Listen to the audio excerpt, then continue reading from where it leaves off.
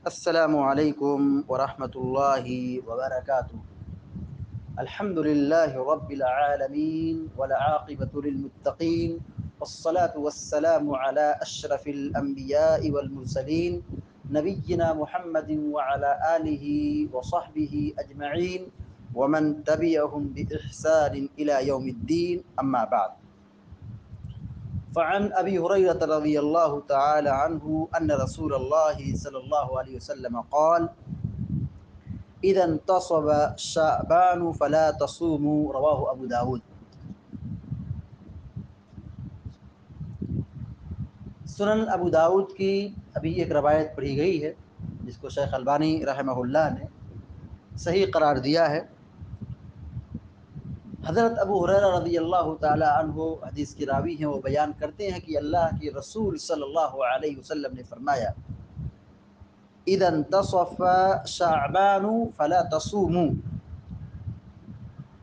جب شعبان کا آدھا مہینہ گزر جائے، شعبان کا نصف حصہ گزر جائے، تو روزہ نہ رکھو۔ حدیث کا مفہوم بالکل واضح ہے کہ پیارے نبی صلی اللہ علیہ وسلم یہ فرما رہے ہیں کہ تصف شعبان فلا تصومو شعبان کے آدھے مہینے کے بعد روزہ نہ رکھو۔ حدیث کا مطلب یہ ہے کہ شعبان کا مہینہ روزے کا مہینہ ہے، اس میں کثرت سے روزہ رکھنے کی تاکید اور تعلیم کی گئی ہے، تعلیم دی گئی ہے۔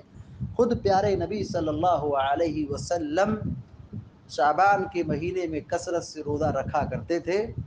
اور یہ کہتے تھے کہ یہ وہ مہینہ ہے جس میں لوگ غفلت کے شکار ہوتے ہیں، جبکہ اس مہینے میں بندوں کے عمال اللہ رب العالمین کے یہاں پیش ہوتے ہیں۔ تو میں چاہتا ہوں کہ جب عمل پیش ہو تو میں روزے سے ہوں۔ لیکن اسی ماہ شعبان میں پندرہ تاریخ کے بعد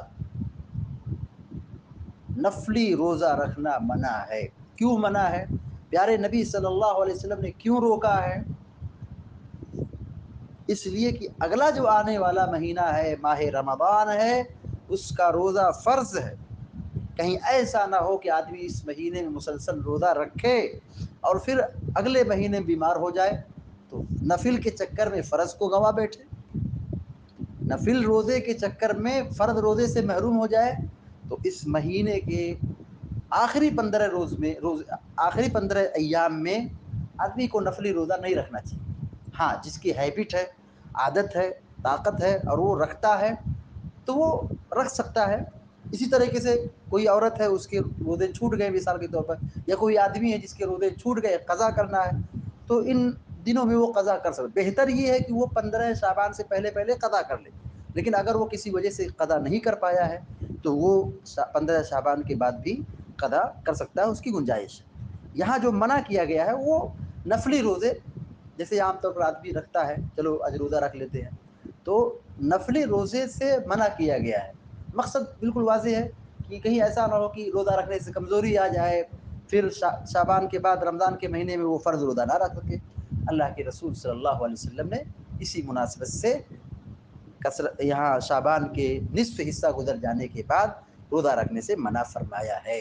لہذا ہم سب کی یہ ذمہ داری بنتی ہے کہ ہم پیارے نبی صلی اللہ علیہ وسلم کی تعلیمات کو سیکھیں اور اللہ کے نبی صلی اللہ علیہ وسلم کی سنت کو زندہ کریں اور آپ صلی اللہ علیہ وسلم کی تعلیمات پر عمل کریں۔ ماہ شعبان میں کثرت سے نفلی روزہ ہم رکھ سکتے ہیں، لیکن جب نصف حصہ شعبان کا گزر جائے تو روزہ رکھنے سے پرہیز کرنا چاہیے۔ لیکن اگر کوئی عذر ہے، کوئی نفلی روزہ جس کی رکھنے کی اسے ہیبٹ اور عادت ہے یا قضا کرنا ہے یا نظر کا روزہ ہے تو وہ رکھ سکتا ہے۔ اللہ رب العالمین سے دعا ہے کہ اللہ تعالی ہم سب کو، آپ سب کو نیک عمل کی توفیق عطا فرمائے اور ہماری ہماری اور آپ کی اور سارے مسلمانوں کی کوششوں کو اور ان کی باتوں کو شرف قبولیت سے نوازے اور اللہ تعالی ہم سب کو ماہ شعبان میں بھرپور عبادت سے فائدہ اٹھانے اور کثرت سے نیک کام کرنے کی توفیق عطا فرمائے اور ماہ رمضان تک ہم کو سلامتی کے ساتھ پہنچائے امین رب العالمین۔ اقول قولی هذا واستغفر الله لي ولكم ولسائر المسلمين واستغفروه انه الغفور الرحيم وصلى الله على نبينا محمد وسلم تسليما كثيرا والسلام عليكم ورحمه الله وبركاته